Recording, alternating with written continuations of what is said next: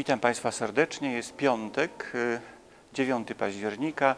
Rozpoczęły się właśnie przesłuchania drugiego etapu 17 Międzynarodowego Konkursu Pianistycznego imienia Fryderyka Chopina. Właśnie jesteśmy po zakończeniu pierwszej przedpołudniowej sesji, ale zanim odniosę się do dzisiejszych wykonań, może jedno słowo o decyzji jury, która określiła skład uczestników konkursu w drugim etapie. Otóż z wielkim żalem nie usłyszę w tym drugim etapie Nagino Maruyamy, 16-letniej Japonki, tak cudownie grającej w pierwszym etapie. 16 lat i jeden tydzień to jest bardzo młody wiek. Jaka wspaniała e, potencja pianistyczna, jaka też e, e, potencja duchowa tej dziewczynki, cudownie wykonane etiudy, no i wspaniałe, pełne potęgi ducha scherzo cismol.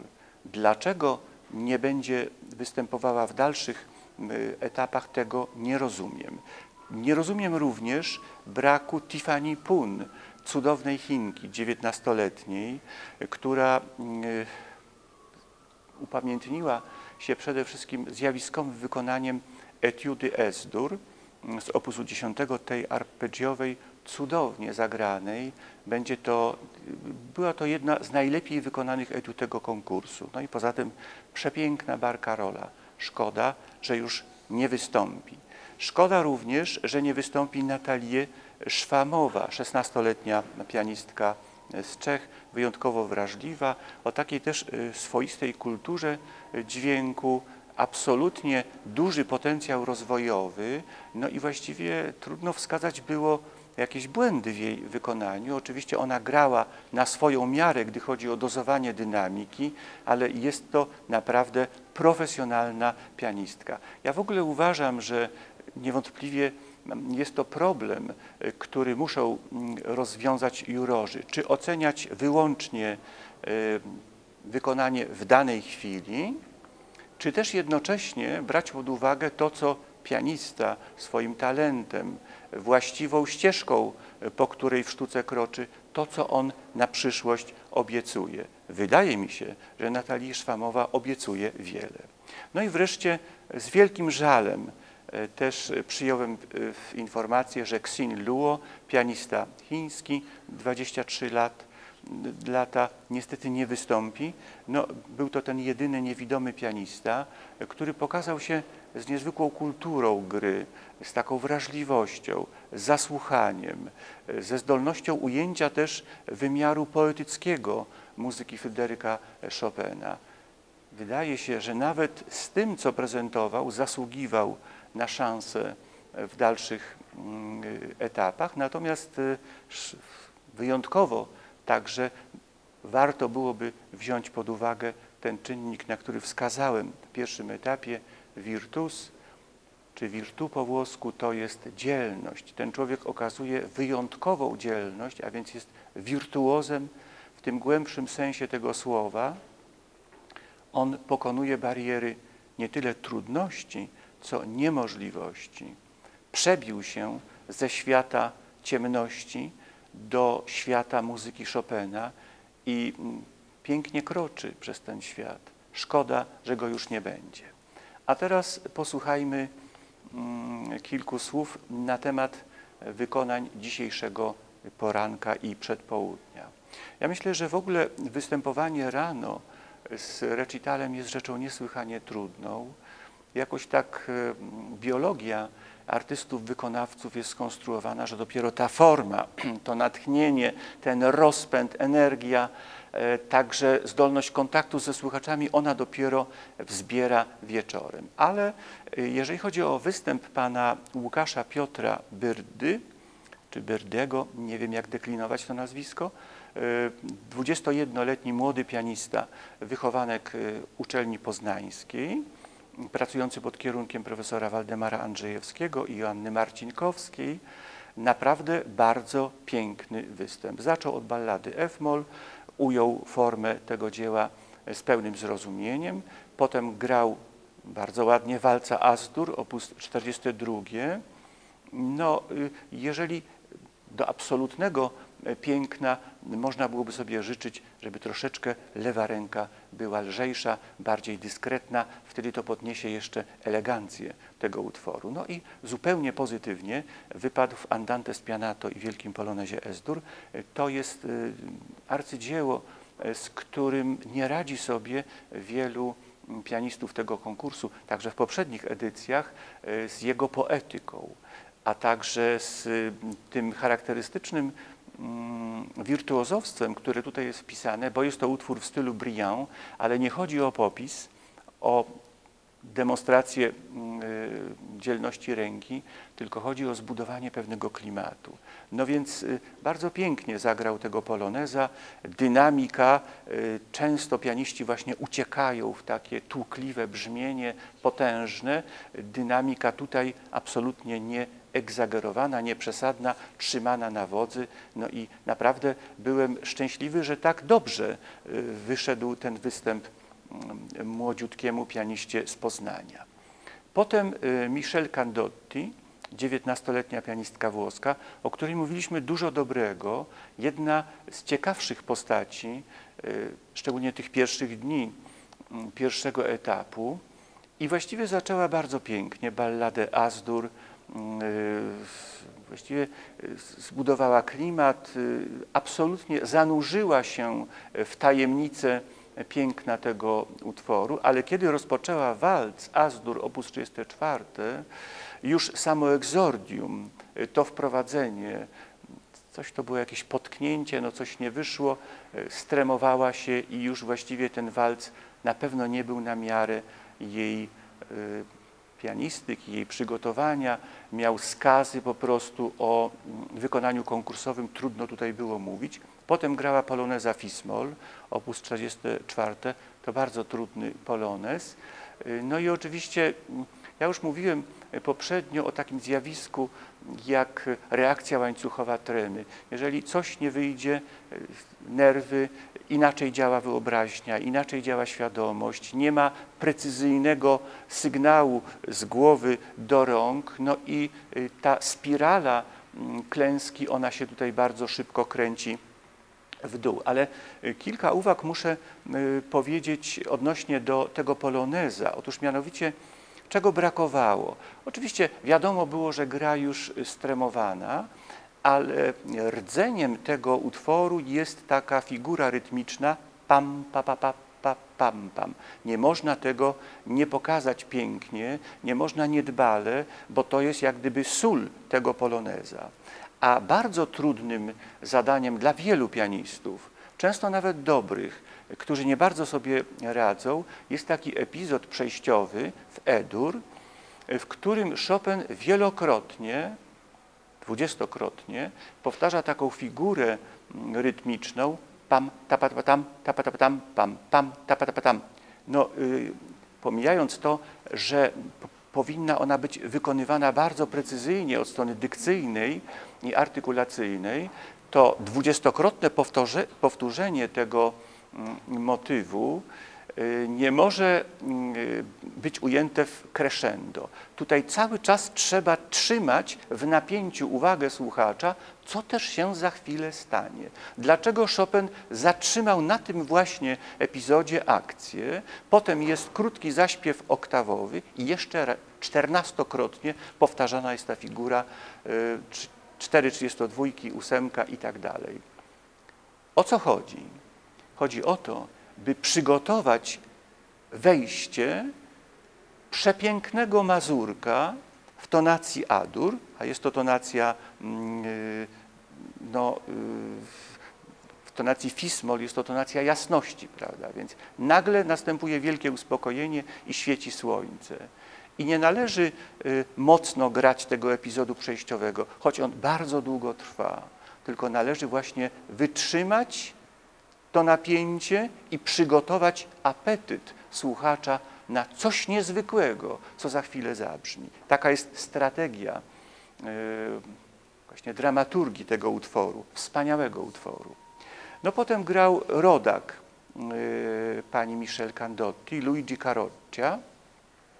Właściwie zapowiadał się występ bardzo ciekawie, bo zaczął od ogromnie trudnej, w takim wymiarze duchowym, symbolicznym, ogromnie trudnej, polo, trudnego poloneza fantazji. To jest późny opus, to już jest, to są ostatnie lata Fryderyka Chopina i tutaj właściwie no, forma jest niezwykła, trudno ją zrozumieć, bo tam tylko raz po raz wybłyskuje ten motyw poloneza. Tu chodzi o jakieś głębie, o jakieś mroczne tajemnice duszy samego Fryderyka Chopina. Wydaje się, że w te głębie wnikał pianista, grając nawet pięknym dźwiękiem. Potem niestety już właściwie ten jego występ można spisać na straty, yy, no bo tak, Poloneza Azdur zagrał yy, z niepokojem. Yy, no niespecjalnie był to ujęty polonez w charakterze, ale też ta część w Edur, gdzie są te oktawy cały czas krążące w obrębie kwarty, tu niepokój, jakiś taki chaos się wkradł. Tymczasem warto pamiętać, że te pochody szesnastkowe, trzy pochody szesnastkowe w obrębie taktu należy pulsować jakby zdwojonym pulsem, to znaczy ćwierćnutowy puls, a jednocześnie całotaktowy. To daje temu epizodowi spokój. A spokój jest konieczny, ponieważ on jest płaszczyzną odniesienia do tego dramatu, który wybuchnie za chwilę. Proszę Państwa, powiedziałem w pierwszym etapie, że mm, grę zawsze oceniamy względem dzieła. Czy ona czyni zadość prawdom, przesłaniom, mm, które dzieło chce wypowiedzieć. Ale grę na tym konkursie oceniamy także względem gry innych pianistów. I otóż w tej pierwszej połowie sesji porannej pan Byrdy wypadł po prostu znakomicie. Następnie grała Galina Czystiakowa, ta pianistka, która wspaniale, zjawiskowo powiedziałbym, pokazała się w pierwszym etapie i tutaj chyba e, no, dała nam pewne rozczarowanie, ale sama też niespecjalnie chyba jest zadowolona ze swojego występu. To jest dojrzała już pianistka, laureatka wielu konkursów. 28 lat to jest ten prawie górny pułap wiekowy pianistów tego konkursu. Wspaniała też y, formacja pod kierunkiem profesora Michała Woskreseńskiego w słynnej uczelni moskiewskiej. Y, no, wielka tradycja romantyczna, to wszystko wspaniałe. Ja Państwu mówiłem nawet, że jej taka noblesse, taka szlachetność, taka elegancja, e, też to, jak ona wychodziła na estradę, przywodziła na myśl Marcelinę Czartoryską, księżnę, jedną z wybitniejszych uczennic Fryderyka Chopina. No niestety mm, rozczarowanie e, zaczęła od Barkaroli, ale zaczęła tę Barkarolę wyjątkowo wolno. Ja wiem, że ona chciała przeciwstawić się tempom podgonionym, które unicestwiają charakter tego arcydzieła.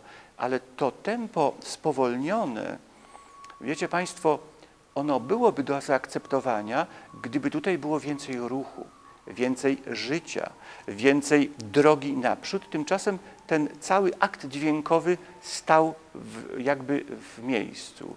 No, kulminacja, która tutaj przyszła na końcu, ona nie wynikała z tego, ponieważ niewiele się działo w trakcie no, jednak sporego czasu, jaki e, zakłada e, Barcarola. Walc pięknie zagrany, walc Asdur z opusu drugiego, 42, e, leciutko potrafiła też operować rubatem, to znaczy w tym momencie, kiedy ten wirowy ruch pędzi w górę, nagle fraza się zatrzymuje, ostatni dźwięk opóźniony, cichuteńko zagrany, zróżnicowana artykulacja, to o czym każdy walc Chopina marzy. Więc to był jej taki cheval de bataille, taki numer popisowy tego występu. No w Andante Spianato, Boże, no strasznie mi jej szkoda, dlatego że grała znacznie poniżej swoich pianistycznych i artystycznych możliwości. Zastanawiałem się, dlaczego to miało miejsce. I doszedłem do wniosku, że tak znakomita pianistka uświadomiła sobie, że już od drugiego etapu to w takim konkursie gra toczy się o bardzo wysoką stawkę. I to może ten stres, no chciałaby odnieść sukces, ale ja może przypomnę w tym miejscu, bo tutaj trzeba mówić też o takim etosie bycia na konkursie. Przypomnę słowa które wypisane są niedaleko za tą ścianą. Tam jest pokój, w którym kiedyś przygotowywał się do wyjścia na estradę wielki polski dyrygent Witold Rowicki. Teraz to jest gabinet Witolda Rowickiego, wiszą jego fotografie i wisi taki, taki właściwie portret, takie zdjęcie jego pewnej sentencji. Wydaje się, że ona jest godna, by ją tutaj przypomnieć. Gdy dyrygujesz, nie staraj się zadyrygować lepiej od innych, bo zadyrygujesz gorzej niż potrafisz. Trawestując to do sytuacji konkursu pianistycznego, gdy grasz, nie staraj się zagrać lepiej od innych, bo zagrasz gorzej niż potrafisz. I druga myśl, analogiczna, godna przypomnienia, profesor Władysław Tatarkiewicz u schyłku życia we wspomnieniach pisze Nigdy nie zależało mi na tym, abym to, co robię, robił lepiej od innych. Natomiast zawsze starałem się o to, abym swoje robił dobrze. No więc nie konkurs ma być w polu mojego widzenia, nie moje miejsce możliwie wysokie, tylko sam Chopin. Prawda i piękno jego muzyki. W służbę tej prawdy i tego piękna zostałem powołany i tutaj mam je z całym spokojem głosić.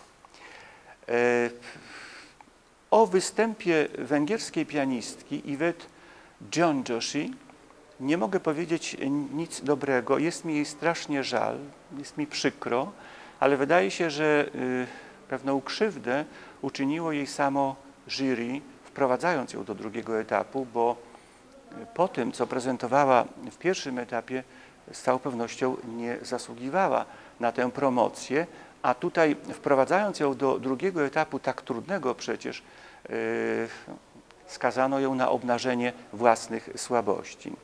Ja, proszę Państwa, słuchając jej wykonań, zastanawiałem się, jak mogłaby zagrać to samo scherzo cismol, które obumierało pod palcami węgierskiej pianistki, jak wspaniale zagrałaby w tym etapie e, właśnie Nagino Maruyama. Przecież to scherzo cismol w pierwszym etapie było zjawiskowo zagrane przez odrzuconą z konkursu młodą Japonkę. Jak mogłaby zagrać Tiffany Pun, 19-letnia Chinka, z taką szlachetnością brzmienia, z taką umiejętnością modulowania e, temperatury, e, barwy, ekspresji. No szkoda, szkoda. E, no i przejdźmy teraz do punktu centralnego tej przedpołudniowej sesji. Wystąpił występ oczekiwany z niecierpliwością. Po fascynującym występie w pierwszym etapie wystąpił Koreańczyk, 21 lat, kształcony w konserwatorium paryskim. Przypomnijmy, laureat czterech konkursów, złoty medal i pierwsza nagroda na konkursie chopinowskim w Moskwie, e, także w Hamamatsu, także laureat konkursu imienia Piotra Czajkowskiego i imienia Artura Rubinsteina w Tel Awiwie. Cudowny występ w pierwszym etapie, no i równie cudowny, a może jeszcze bardziej fascynujący występ w etapie drugim. E, zaczął y, pianista, y, może tak, zacznę od walca, który był wykonany po prostu w sposób fascynujący. Ten wirowy ruch, a przy tym jeszcze e, zachowanie tej zasady, która stanowi o duszy walca Chopinowskiego, varietas, czyli różnicowanie. Jeżeli pojawia się jakaś formuła melodyczno-rytmiczna i powtórzona jest po raz drugi, trzeci, czwarty, to za każdym razem należy ją ukazać w innym wcieleniu, inaczej. Tak właśnie to czynił. E, sonatę bemol grał, co jest w ogóle wyjątkiem, gdy chodzi o repertuar drugiego etapu, ponieważ zwykle sonata prezentowana jest y, w etapie trzecim razem z mazurkami, ale ponieważ regulamin tegorocznego konkursu zakłada pewną elastyczność, y, pianiści mogą y, wykonać sonatę w etapie drugim, a tak właśnie uczynił Song Jin Cho, ten koreański pianista, zakładając, że wykona w trzecim etapie całe opus 28, czyli wszystkie 24 preludia Fryderyka Chopina. Więc grał sonatę bemol. Pierwsza część, y, ogromny pęd, doppio movimento, no movimento to jest ruch, a doppio to jest podwójny, więc ten ruch, potworny pęd, jednocześnie ogromny dźwięk i jednocześnie niezwykła czytelność, ponieważ ukazana była hierarchia planów. Brzmienie w ogóle symfoniczne, e, brzmienie wielkie, ale nieprzekrzyczane, niebrutalne, niechukliwe. Druga część, scherzo, molto vivace, e, właściwie huraganowe brzmienie, zawrotne tempo, ale nie po to, żeby pokazać dzielność ręki, tylko po to, aby stworzyć tło, płaszczyznę odniesienia do tej cudownej melodii części środkowej, żeby ona tym bardziej skontrastowana była z częściami skrajnymi. Marsz żałobny, wolne tempo i część środkowa niezwykle wykonana, dlatego że tam mamy melodię w górze podpieraną pochodami e, ósemek e, w basie. Otóż mianowicie zauważyłem, że pianista cztery ósemki traktuje jako plamę kolorystyczną, jako akord. Wobec tego puls był bardzo, ten subiektywny, odczuwany przez nas e, puls, spowolniony i ta plama kolorystyczna, ta ciemna plama stanowiła punkt odniesienia dla tego e, srebrzystym głosem śpiewającego, przejmującego sopranu. No i czwarta część, finał króciuteńki finał, trwający minuta, półtorej, finał, którego nie rozumieli nawet wielcy muzycy, Mendelssohn i Schumann. Tymczasem Chopin mówił, że to jest takie ogadywanie dźwiękiem tego, co przed chwilą zabrzmiało, ale w ujęciu pana Song Jin Cho ten finał był potraktowany jako obraz, wirowały cały czas ciemne barwy, tak jak w obrazie Turnera powiedzmy, raz po raz wybłyskiwały e, na wierzch jasne plamki. Właściwie nie czuło się kresek taktowych, nie czuło się rytmu, e, stworzył plamę kolorystyczną. No i Polones Azdur na zakończenie występu, opus 53, e, Polones Mm, proszę Państwa, no, znakomity polones, taki, którego grandezza, ta wielkość, rozmach, przepych zajaśniała tutaj mm, całym blaskiem. Y, niesłychana wyrazistość planów. To jest polones strasznie trudny technicznie. Tam są i oktawy, i akordy, i tryle w międzyczasie. To wszystko we właściwym miejscu usytuowane. No i cudownie zagrana ta yy, której niestety nie udźwignął pan Karoccia, cudownie zagrana część w tonacji E-dur, oktawy cichuteńkie, lekkie, spokój, wszystko po to, by przygotować właśnie słuchacza na wybuch tego ostatecznego dramatu wieńczącego formę dzieła. No, proszę Państwa, absolutne zjawisko. Pan Song Jin Cho to jest też młody pianista, ale jaka dojrzałość i jaki poziom artyzmu. Na zakończenie chcę Państwu mm, powiedzieć, że mm, wczoraj w Akademii Muzycznej, dzisiaj nazywanej Uniwersytetem imienia Fryderyka Chopina, odbyła się promocja. E, Christian Zimmermann uzyskał doktorat honoris causa tej uczelni z wielkimi tradycjami, bo przecież ona powołuje się do tradycji konserwatorium inkorporowanego do Uniwersytetu Warszawskiego, którego pierwszym dyrektorem był Józef Elsner, pierwszym nauczycielem i jedynym właściwie e, Fryderyka Chopina. No i mm, ta uczelnia nosi imię Chopina i dzisiaj 40 lat po wielkim sukcesie Christiana Zimmermana na mm, warszawskim konkursie uzyskuje godność doktora honorowego. Kilka słów powiedział promowany geniusz pianistyki, ale zwrócił się też do młodzieży i powiedział, żeby ci młodzi pianiści pamiętali, że muzyka to nie są dźwięki, to jest narracja, to jest opowieść o czymś ważnym i że ująć dobrze dane dzieło to jest dotrzeć do tej emocji, która stała u jego źródła, czyli nie zewnętrzna powłoka, nie dźwięki, rytmy, melodie, harmonie, one są ważne, je należy w sposób doskonały ukazać, ale należy dotrzeć do tego impulsu, do tego pierwszego poruszenia wyobraźni i serca Twórcy, które sprawiło, że to arcydzieło, które właśnie gramy, zaistniało, zostało rzucone w byt.